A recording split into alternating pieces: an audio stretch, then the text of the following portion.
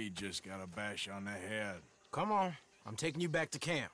Hey, you did real What's up there, Lenny. It's your boy wish and today, well today we begin a new series of videos where I show off my new trophies and I explain how I got them. So this is basically the trophy you get in Red Dead Redemption 2 once you complete 70 gold missions. And yeah, that's basically it.